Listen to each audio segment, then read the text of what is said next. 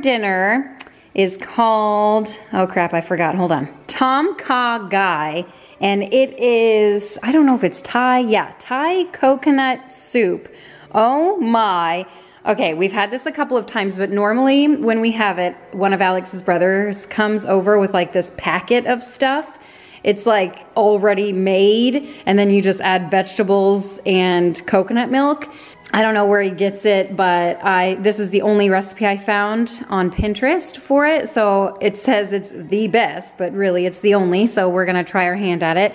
You need some chicken broth, coconut milk, fish sauce. You guys know I'm trying to use up all this fish sauce. Some garlic, onion, red curry paste, lime, jalapeno.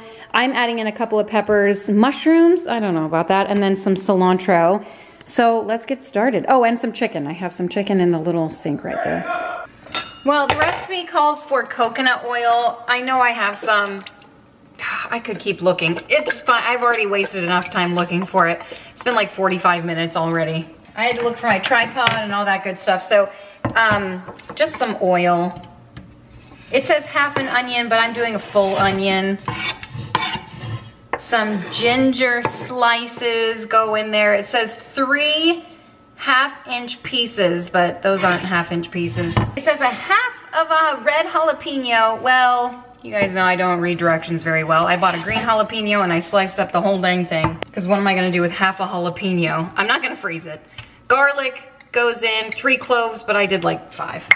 And then add two teaspoons of red curry paste.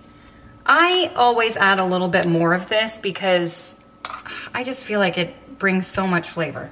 And then cook that until the onions are nice and softened. Oh, oh my gosh, you need a close-up. Hold me closer, Tony Danza. There, is that better? There, can you see this? This looks beautiful. This is dinner. It smells real strong though, I'm not gonna lie. All right, it's been a few minutes. The onions look a bit soft. So now I'm going to add four cups of chicken broth. Bring this to a boil and then simmer it for 30 minutes and then we'll add the rest. The, oh, I should mention the recipe also calls for lemongrass. I don't have that. Target didn't have it, sadly. I've needed it for a few recipes lately, but that's my luck. Okay, it's been 30 minutes and this reduced a whole ton. You're supposed to strain out the aromatics, which is like all of this. I don't have a strainer and like, I don't know what's gonna be left if I strain, if I strain. I have cheesecloth. Let me get some cheesecloth. Hold up. I just remember, I just found it in my closet. Well, I can't find my cheesecloth and I'm done looking for it. So I'm just gonna use a kitchen towel and try to get most of the juices out. Pop it in here. Am I ruining this? I'm gonna do my best. Yeah, I mean, I don't know how else to do it. There's like very little, you know what I mean? It's all stuck to this crap. Use a strainer if you have one, but I donated mine when we moved. Wow. Probably gonna burn my hands. Okay, squeeze it. Hopefully a lot of the juices come out. Oh my gosh, it's so hot. Oh, this was a mistake. It's so hot. Ow, my hands are burning. Let me just try to twist it. Oh, it's so hot. It's burning my fingers. Look at all that juice though. All right, hold on, I'm gonna get a glove. Trying to put a glove on a wet hand is never a great idea. Let's see how much juice comes out of here. This is like a very concentrated, oh my gosh, sauce right here. It's so, it's so hot. I think it would have been less time for me to run up to the store and buy a strainer. Okay, well, we did that and that is good enough, my friends. And then you add the chicken breast. I have two pretty massive ones just cut up into chunks. Add the veggies. I just cut up a red bell pepper and a yellow be bell pepper. And then add two cans of coconut milk or coconut cream. And then simmer this and let the chicken cook all the way through for about 10 minutes. This smells absolutely incredible. If you've never had this before, I would highly recommend. I did change my mind and I am going to add some mushrooms. They cook pretty fast and it's not too many. So I feel like the peppers still have a little bit of time to cook. Okay, I'm done waiting. I am going to add in one and a half to two tablespoons of fish sauce and then the juice of a whole lime. Wow. All right, let's try to get some juice out of this guy.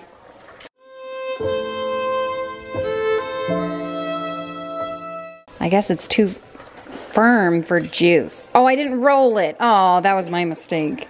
Okay, give this a mix, and I think that's it. Oh no, a little bit of coconut sugar. I don't have that, but I do have some monk fruit sweetener. I don't know, I'm just gonna add some of that. Give that a mix. I'm gonna add a couple limes for fun. Some green onions, and that looks so good, but I'm telling you, it tastes even better. Let's plate it up. Ooh, add some cilantro too. I'm gonna go ahead and say that looks magazine worthy. Um, once you add cilantro on top of it, we eat it with rice. I just plated it as is, just as soup, but it's delicious. I would dare say, hold on, let me take another taste. Yeah, it tastes just as good as like the packet sauce that we buy. And it's, uh, I mean, since I can't find it, this is a great alternative. Plus making everything homemade is normally better for you. Anyway, it's delicious. Hope you enjoy if you make it. This is a normal amount of cilantro, and this is what Alex decided to put. Tonight for dinner, it's an exciting night. Not sure if the dinner is exciting as what's happening. The Bengals just won. Sorry if you're a Kansas City fan. we were really gunning for the Bengals and holy crap, it was amazing. Overtime again, special teams. Anyway, enough football talk. I am making bang bang shrimp tonight. And I don't know if it's like technical, okay, so I'm making bang bang like linguine or pasta, if you will. So it's not, we're not gonna bread this in panko crumbs because I feel like that's just an added step I don't wanna deal with. When I saw this recipe, that was the big allure for me. So I have some shrimp, I have some limes, I have garlic, garlic powder, um, sweet red chili sauce, mayonnaise. I don't know if I need arrowroot powder. I saw some recipes that needed it, but I can't remember like what recipes I was looking at, so I'm gonna have to, whatever. I took it out anyway. And then some cayenne pepper. I bought this specifically for this recipe. I feel like I always need stuff with cayenne pepper and I never have it. Uh, I actually looked for it for 20 minutes in my pantry. Guess where it was? the first place I looked. That's right, unbelievable. Let's get this thing started. Let's get it started. Hey. I have some gluten-free pasta stirring away. Not that you could see literally anything. I think it's done. So I'm just gonna drain it. I have two boxes. You only need one box, but I like to have leftovers and my kids like to eat spaghetti for lunch and stuff, so I made two boxes. I'm just gonna throw it back in the pot so it stays warm. But to make sure that it doesn't stick together, actually, I don't know if gluten-free spaghetti will stick together. I don't know, but I don't want to test my luck. So I just add a little bit of oil or butter if you want, and then I just mix it around. Keep the top on, keep it off the heat, cross our fingers. So let's throw together the sauce and then we're gonna cook up the shrimp. The shrimp cooks very quickly. Um, this is likely a 20 minute dinner idea. It calls for a quarter cup of mayonnaise. I think we're there, but I'm just gonna use whatever's left in this jar. I just find it so satisfying when I can completely empty a jar. Equal parts mayonnaise and sweet red chili sauce. So I'm gonna go above and beyond with this too. Let's keep on that the more the merrier theme. It calls for two cloves of garlic, but I have four cloves right here, and I'm just gonna use them all. I peeled them the other night for dinner and I just stuck them in a bowl and saved them for right now. Add all of that to la sauce. Give this a mix. And that looks good enough. Looks Actually looks kind of gross. But super simple. Now I'm going to, I think this is, oh, it's cooked. Oh, I've made a mistake. Oh, I've made a mistake. Oh, this is cooked too. What have I done? Um, okay. It's fine, we're fine. I think this dish might be a little too shallow. Are the tails still on these things? Man, shrimp is pretty gross. Oh, that's a lot of liquid. Actually, these look fantastic. Yeah, these are these are real good. I'm going to just give them a rinse in the sink. All right, looking real fresh. What do we do now? Let's add some salt here. It calls for a half a pound of shrimp And this is a full pound, my friends, and that's how I like to live my life. Half a teaspoon of cayenne. Oh my gosh, they don't make this easy to open, do they? Come on, Zach. Everyone's watching. My gosh, you'd think they give you a little lip or something.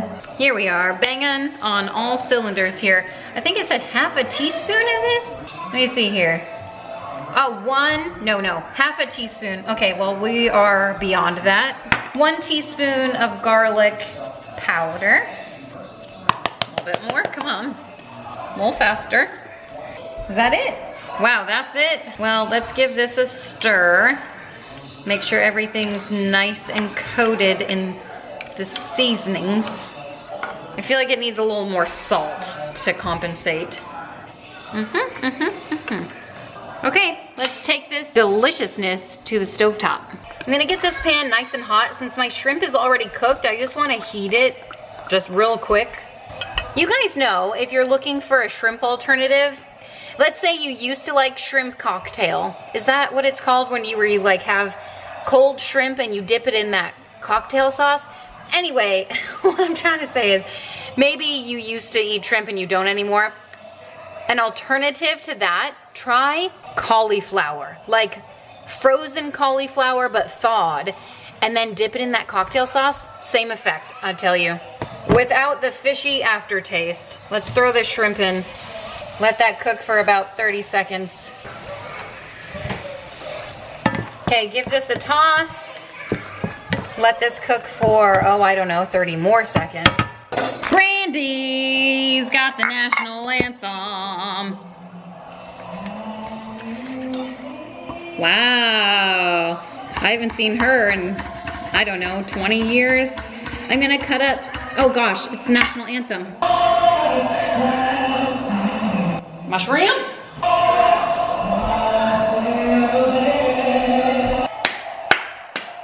Yeah. Man, she still got it. Her rendition of Cinderella is still one of my all-time favorites. Okay, I'm just gonna chop up some green onions. I have my shrimp off of the heat for now.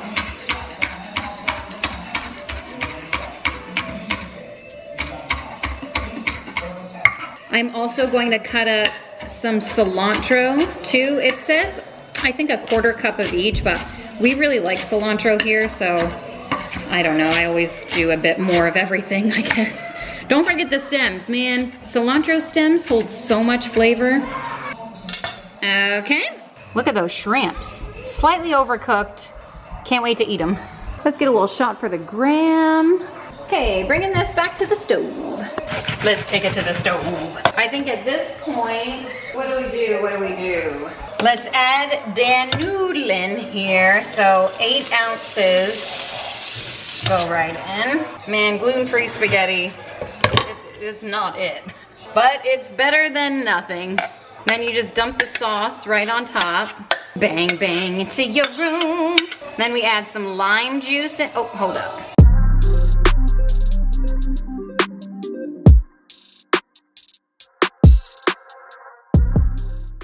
And that's as much juice as I can get with my left hand because it's so dang weak. Let's try that again. Yeah, I'm just weak with both hands. the juice of one lime goes in, but I feel like if you're feeling up to it, maybe add two, okay? I love citrus. You guys know I feel like fresh herbs, fresh citrus, they really elevate every dish. Use it as much as you possibly can. In addition to the herb garden that I eventually want to grow, if I could grow some limes and lemons, my neighbor growing up had lemons, so I know it's possible. I'll be like halfway on my way to my own dang homestead. Being self-sufficient. Self-sufficient Kimberly Whisk.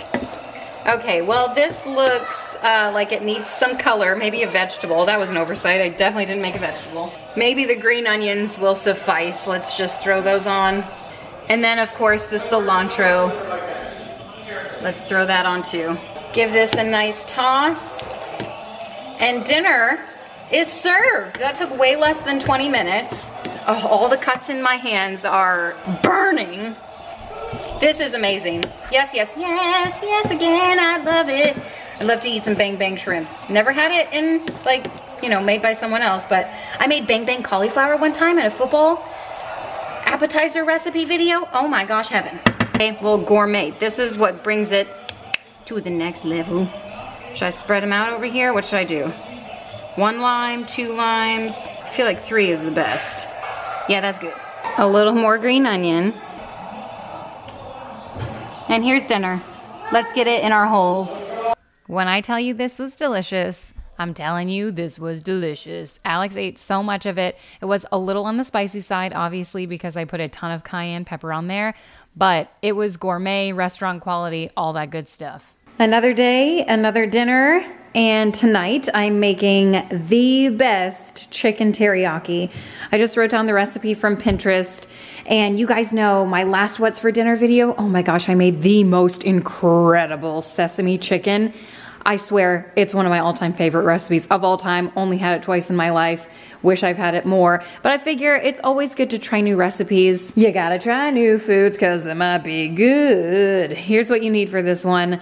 You need rice wine vinegar, which is actually not in the recipe, but it's in the video. I don't know, Pinterest is getting crazy and weird. So I don't think this is right. I'm gonna have to Google that. But you will need some sesame oil, soy sauce or cocoa aminos, some garlic, brown sugar, honey, which is like always a great combo.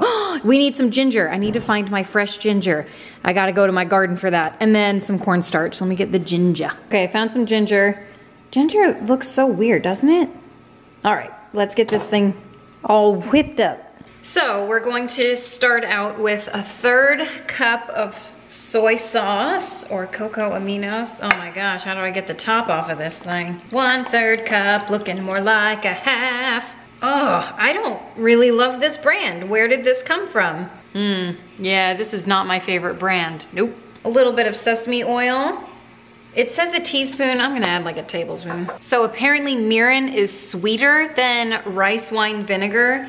So rice wine vinegar would add like acidity and this just adds sweetness and we're already adding sweetness. So I'm just gonna add a little bit. I'm sure I could throw some distilled white vinegar. Oh, you, you know what I have, hold up. You guys know how much I love apple cider vinegar, so I'll add, how much? Oh, it didn't even say because it wasn't in the original recipe, just a little bit. Now we're getting all kinds of crazy. One third cup of brown sugar. So just a few big spoonfuls. And one tablespoon of honey. Do a little more, because that's my vibe. One to two tablespoons of cornstarch. Oh my gosh, what's wrong with this garlic? This is like hollow. oh, it's bad. Oh man. What am I to do? I'm gonna go crazy. All right, I have some more. Oh my gosh, this is bad too. it's all bad. All right, let me see if I can find more. Okay, found some good stuff. How many cloves? I think it says four, but we'll add more. Four is never enough. And as for the ginger, I'll just snap off a little piece. You wanna add enough so there's flavor, but not too much because this stuff is crazy overpowering. To peel the skin off, you can just use uh, a spoon or whatever, but I have this knife. It's a little paring knife. Oh my gosh, man, this stuff is so potent. This will clear out your sinuses. Ginger is actually really great for your body. But if you don't have the fresh stuff, you can, uh, you know, use the powder.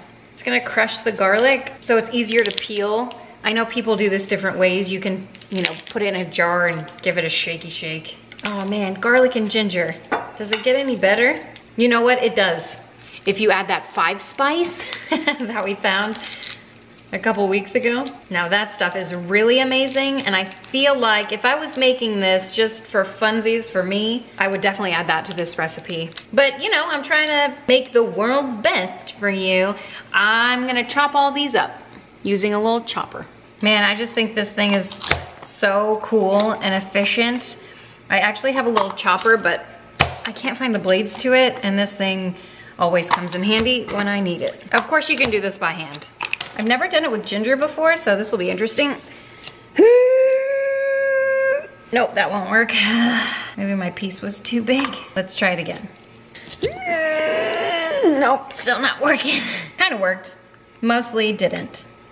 Mostly got stuck. Oh man, I forgot to put this thing back. Oh, girl. Yeah, that's not gonna be fun to clean because now it's all stuck in the grates. What did I do? Why are you the way that you are? All right, whatever, I'm just gonna have to cut it by hand. The garlic in though. Oh, wait, you know what I'm gonna do? Ooh, I was about to get real upset because I can't find anything. Because people have been putting dishes away, which is awesome, thank you so much, but they don't put them away where anywhere where I can find them. So I'm gonna use my microplane to just do the um, ginger. Oh, you know what? Someone told me, I don't really believe them, but let's try it out. You don't have to skin the garlic before you microplane it. Yeah, I don't know about that, man. the skin's going everywhere. Maybe I'm doing it wrong. I'm not at that level. That actually smells fantastic. I think that's it. Now let's just give it a mix. Oh, nope, that's not it. Ha ha ha ha. You need half a cup of water. This is just my drinking water and I feel like that's good enough. And then I'm going to add the chicken breast. I just cut, oh no, they're thighs. I cut up, I don't know, a packet. It's probably close to two pounds. It's gonna mix all of that in. Mmm, it actually smells really delicious. Let this marinate probably as long as you can. Overnight if you want to, a couple hours if you don't have the time. At least, at the very least, 30 minutes. I'm gonna pop a top on it, put it in the fridge. Time to eat. I have some rice in the Instant Pot and it's gonna be super simple tonight. Maybe get some frozen broccoli in the microwave. I'm just gonna throw maybe a little bit more oil because I do have a lot of chicken here. I've been heating my pan up and you're supposed to drain the juices and just, oh wow, yeah, that's gonna take way too long. And here's where I use my hands and everyone gets grossed out. It's fine. that's what soap and water is for. Okay, it's about being efficient. Just throw all the chicken on there. I would say don't overcrowd it, but I'm definitely not gonna do two batches. Just spread it out and then let it let it cook. I just did the worst thing I could possibly do. I just cleaned out the pan. I could have just made a sauce real quick. Man, whatever, that happened. Just cook the chicken. The best chicken teriyaki in town. While it's steaming in there, I'm just gonna add a few sesame seeds, sprinkle them. Oh, that's a lot, right on top. And then mix them in. I would say that elevates the dish a bit. This is definitely a like, do what I say, not what I do type of moment. Save the sauce, put it in the pan. After you're done cooking the chicken, let it cook out, and then you have a delicious sauce. Okay, the chicken is complete. It does taste delicious, although I will say, I do prefer the sesame chicken that we made a couple of weeks ago. It just has so much more flavor than this. This is good. This is good. There it is, nice and delicious. Uh, everyone will enjoy this Because I'll make them. but you know, if you don't have the five spice and stuff, this is great. You know what, I'm gonna take another taste. I'm jaded. Yeah, it's really good. Okay, it's really good. oh, you guys, I'm so frustrated. I was so distracted because like kids and stuff. Um, I just deleted the intro to this. Oh my gosh, I probably said so much. Okay, yeah, I definitely deleted it. I had a young chicken. It was $5.66, somewhere around there. And I'm gonna cook it. I debated sharing it with you because it's not like a gourmet recipe, but I figured this is what you need. Quick, easy, you know, fast, efficient, delicious, weeknight meals, all the catchwords, right? Uh, this is the chicken already cooked. You'll see it in the crock pot. This is a crock pot recipe. Um, I will show you me putting it in the crock pot, but you might be thinking, oh, Kim, you bought it for $5.55 or however much it was. Why should I do that when I can go to Costco and get a rotisserie chicken for, I don't know, $5 and it's already cooked for me? Well, I'll tell you two reasons why. I think I had two reasons. First one, you can season it how you like. Second one, it comes out with a lot of broth, so you can make your own uh, gravy with it or whatever, save the broth, whatever, whatever you want to do, okay? Second reason, I don't remember. Maybe I'll talk about it, but here we go. Let's throw it in the crock pot and I'll show you what to do. My chicken was frozen. I had it in the freezer. Oh, what do you do with the giblets and stuff?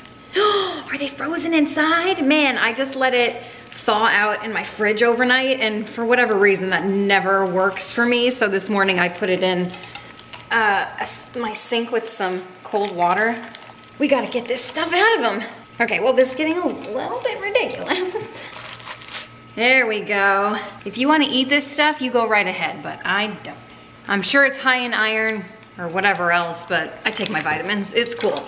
Okay, I also wanted to mention this chicken is 6.3 pounds. So I don't know how much a chicken weighs from Costco, but I feel like this is bigger.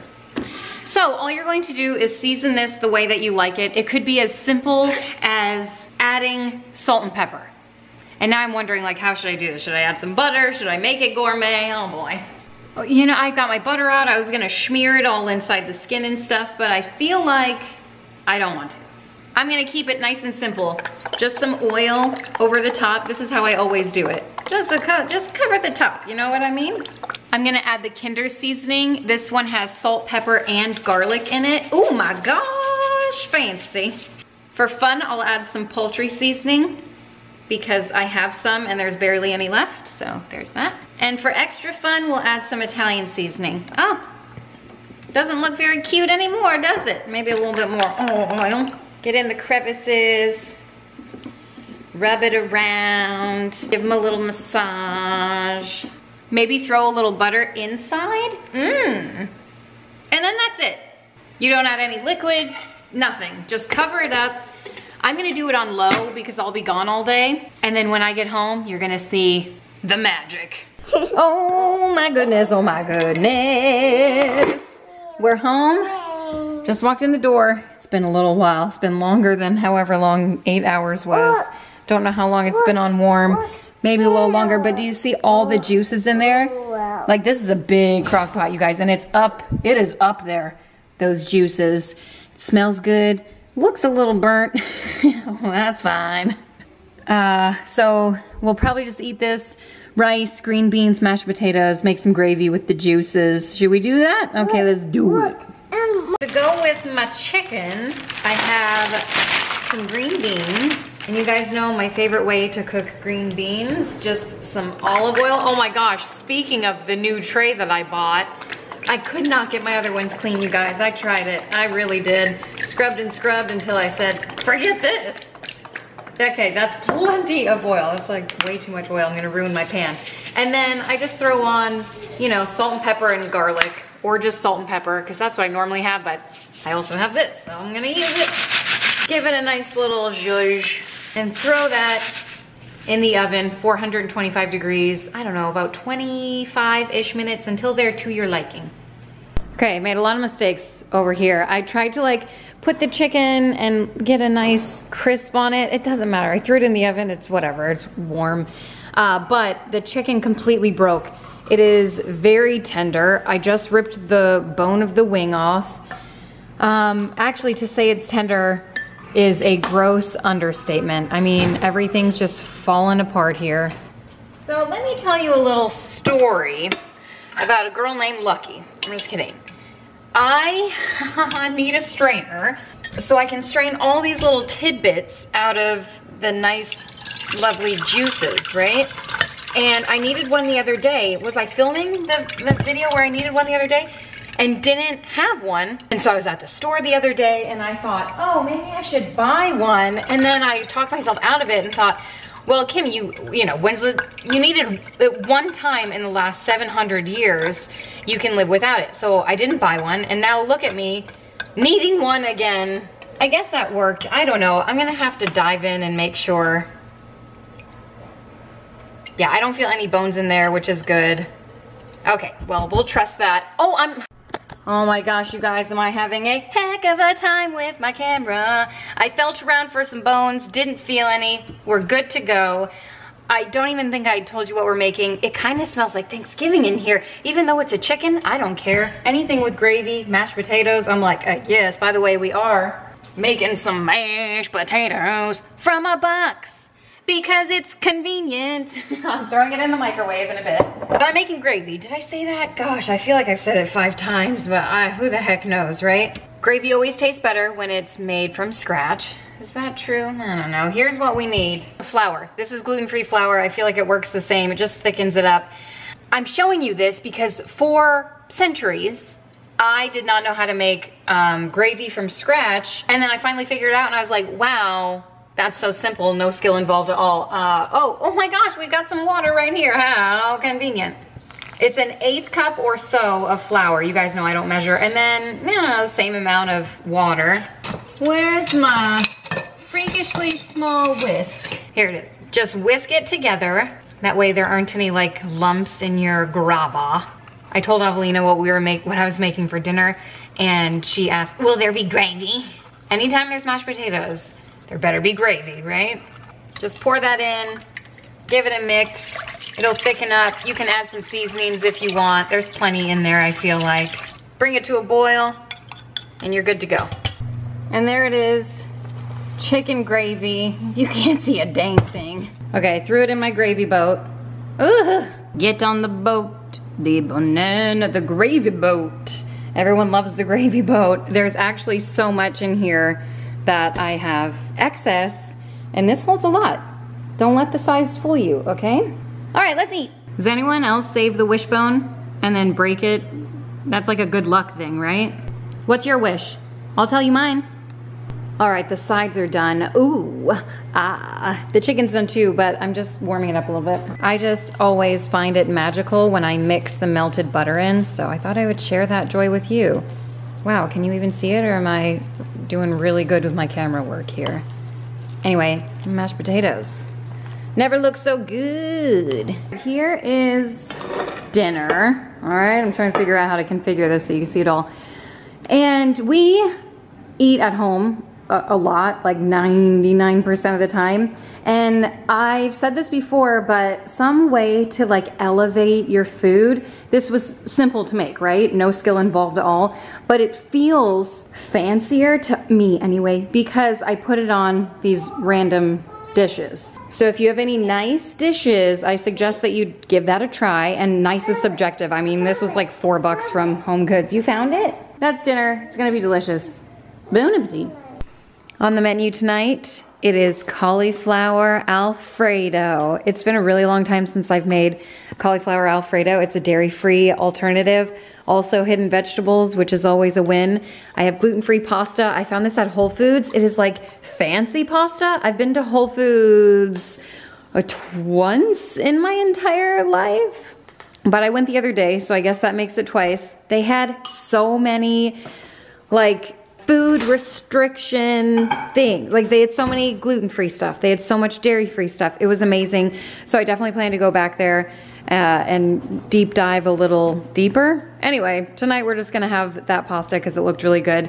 I have oat milk. This Ripple milk is really thick and creamy, so I'm gonna use that. Cauliflower, of course. Some garlic. It really makes the sauce taste like true Alfredo sauce. I'm gonna cook up a spaghetti squash because that's what I like as noodles. i will just mix it in the normal normal noodles. And then I have some dairy-free Parmesan cheese. This is what's left over from when I made the dairy-free, gluten-free lasagna, which I did not share with you because it was absolutely miserable. But that's what I have left, so I'm gonna use it up. Okay, first thing you do on uh, in a pan, I have some oil, which I didn't tell you that you needed. You need some nice, good quality olive oil. It gives it a nice, rich flavor and you need quite a bit of it. And I have a whole head of garlic here. I think it's 10 cloves. And those are nice, hearty cloves. Let that sit in the olive oil and just toast up a little bit. While that's cooking on the oven, I just cut up my spaghetti squash and I'm gonna seed it. Okay, my garlic is getting a little out of hand and nobody likes burnt garlic.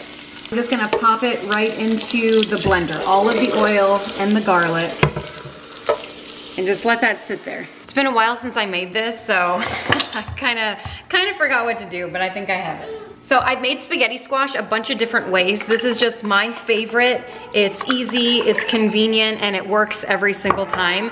I just cut it in half, add a little bit of oil. You can do coconut oil or whatever, and then just some salt and pepper and garlic. That's all this is and I just rub it around. I tried cooking spaghetti squash in the oven, in the Instant Pot, I just, this is the best way for me. I just do it upside down and I put it right into the microwave for, I check on it, maybe 15 minutes and then I'll check on it. The star of the show is the sauce. Oh boy. I am going to add a little bit of the seasoning, salt, pepper, garlic in here. I don't have any pepper, otherwise I'd just add pepper, but I don't have. And you work with what you have.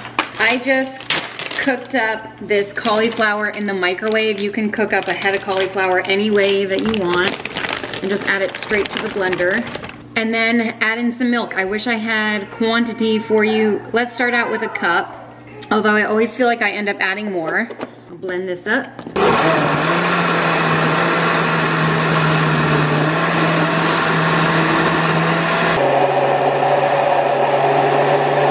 And depending on how thick or thin you want your sauce, you can add more milk. That's garlicky. I'm going to add the cheese and a touch more milk and let this go. My blender really sucks. Come on. All right, that's cool. Um, I would do half of the amount of garlic.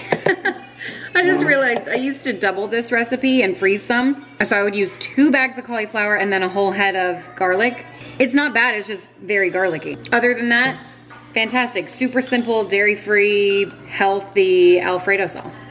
I just seasoned some chicken and threw it on a pan with some oil.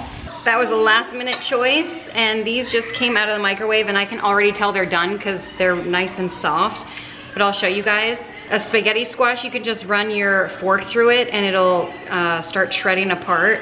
This is where it gets its name because it looks like spaghetti noodles. So there's that. Um, I'm just gonna flip it over so it stays warm. Mmm, but it tastes so good. Now I'm gonna cook up some broccoli. I actually have two bags. Now I'm gonna throw the pasta in, the water's ready. Look how nice this pasta looks. Like gourmet quality. This is crazy. I mean, this was really expensive, but gluten-free anything is expensive. Am I gonna do two boxes? I guess we'll just do one. And then if we need more, yeah, I think we'll be fine. The noodles. Woo! Oh boy, let's try this again. The noodles are done. Ooh, it's definitely not enough, but whatever. That's what I cooked. Yeah, this is like one dish. All right, yeah, I'm definitely gonna have to cook some more of that up. All right, let's do some noodling. Okay, you wanna climb? All right, what do I add first? This chicken smells so dang good. I used this seasoning on it. Oh, crap. Oh, crap. The steakhouse blend. I just realized I put this on the spaghetti squash. Uh, hold on. I'm gonna pour some sauce on and just Yummy. mix it in. Yes, So yummy, yummy. huh? That is great. Gonna add some chicken in here. Delish. And then a little bit of broccoli for color. Oh my, yes. And here it is, all complete. Fettuccine Alfredo pasta, dairy-free version. And since I'm right here. I'm gonna go in for a chef's taste test. Little bit of everything. Bon appetit. Very garlicky. Delicious. Absolutely delicious. 10 out of 10. This would be like $18 at a restaurant, right? Especially gluten-free pasta. I'm just saying. An Alfredo dish, even at Chili's, what is it? 16, 22 bucks? Mmm, mm-hmm, mm-hmm, mm-hmm. A little Cajun chicken pasta.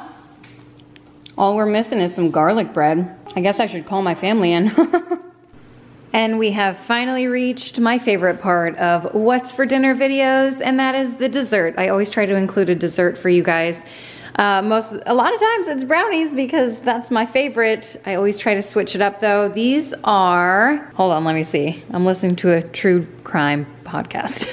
Chocolate covered strawberry cream cheese brownies. Boy, that's a mouthful, and I hope they taste as good as they sound. I'm not even a huge fan of cream, no, what's it called? Cheesecake, but I don't care. I'm trying it for you. Alex likes cheesecake, so let's do it. Um, powdered sugar, sour cream, cream cheese, chocolate heavy whipping cream, strawberries, and brownies. I've already threw mine together. These are Ghirardelli, the best. Someone just came in the front door. Best box brownie mix they sell in the stores, promise you that. So we're gonna make brownies and strawberries and then a ganache. And this will be like the cream, what, gosh, what's it called again? Cheese cake mixture. Is that what we're making? I think so. Okay, so let's, uh, let's cut up some strawberries first, I guess? I don't know. Eight whole ounces of cream cheese, two tablespoons Oh, that was gross. Of sour cream. It's the lid. I hate sour cream. And a quarter cup of powdered sugar. And I can only find one blade for my attachment. Nah, that's good enough for me. I'm just gonna whip it together.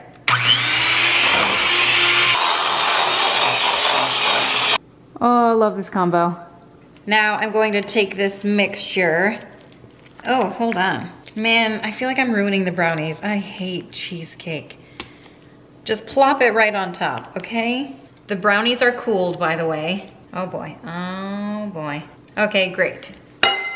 Next, I'm going to take 12 ounces of chocolate. Well, it's supposed to be dark chocolate. I don't even have 12 ounces. This was an open bag of 10 ounces. That looks really pretty though.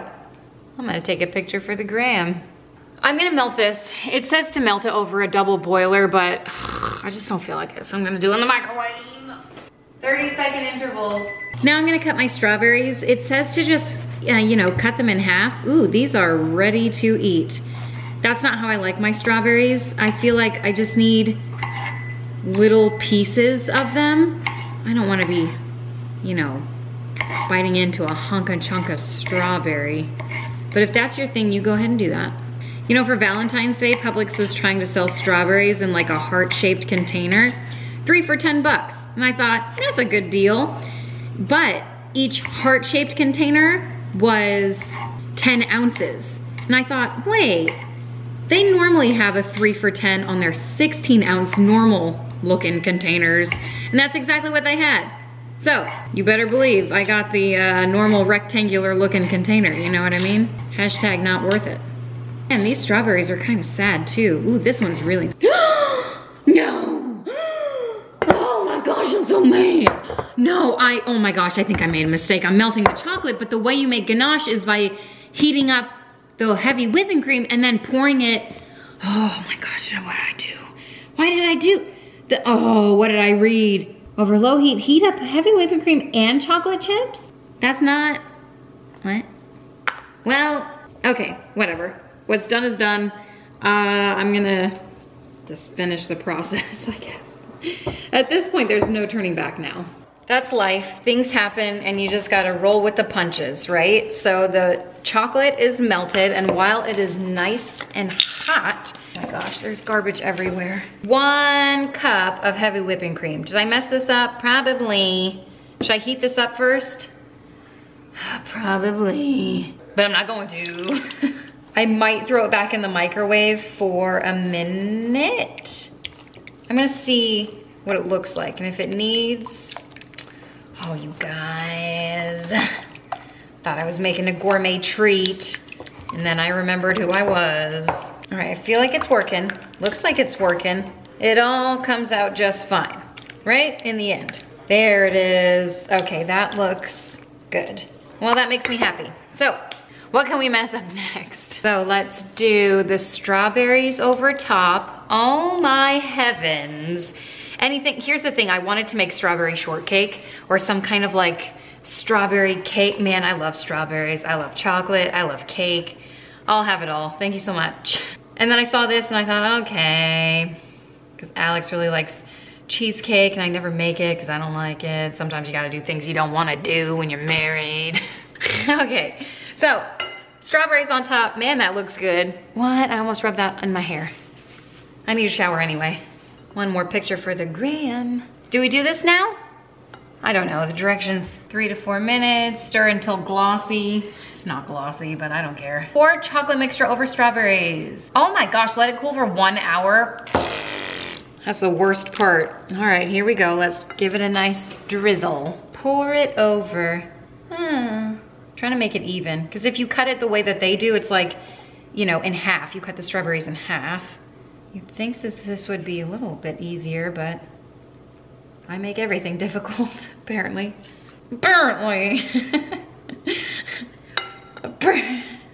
Have you guys seen that video in a while? Apparently. I can't even say it. You guys know what I'm talking about.